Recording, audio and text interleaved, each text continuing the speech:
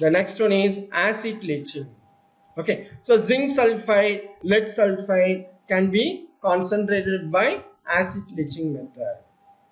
So zinc sulfide dissolve in sulfuric acid in the presence of oxygen. Okay, so which gives soluble zinc sulfate. So other impurities are insoluble in sulfuric acid solution.